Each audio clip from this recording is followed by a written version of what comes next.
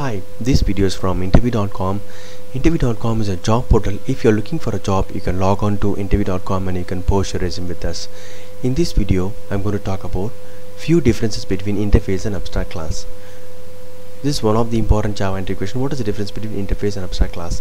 Interface contains methods that must be abstract. Abstract class may contain concrete methods so if you see the abstract class you can have concrete methods but in the, in, in the interface you can have only the signatures and it is purely abstract. Interface contains variables that must be static and final that is equal to a constant actually. Abstract class may contain non-final and final variables because the concrete methods can access the private members or the non-final members. Members in an interface are public by default because it is an it contains abstract method signatures and it should be implemented by the some other class.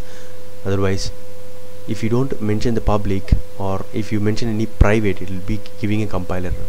Abstract class may contain non-public members because we have a concrete methods in the abstract class. It might need to use the private members.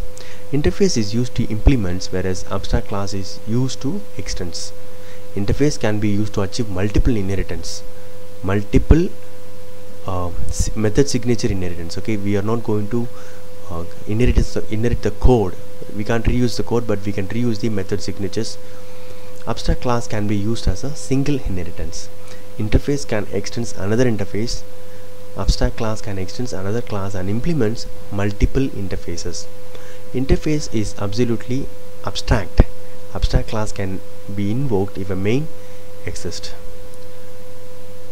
interface is more flexible than abstract class because one one class can only extends one superclass but implements multiple interfaces. So interface is more flexible because you're having uh, uh, abstract method signatures. A any class can use it and start giving the implementation if a choice is given to you, please use the interface instead of abstract class and that too it depends on the context of your application. So discuss and decide the benefits which is whichever is benefit whichever is giving more benefit please use interface or abstract class based on the context. Hope this video is useful for your interview preparation.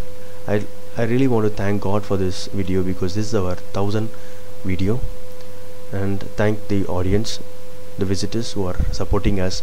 And and I want to thank because this was really a good opportunity to teach others what I know. Thank you and all the best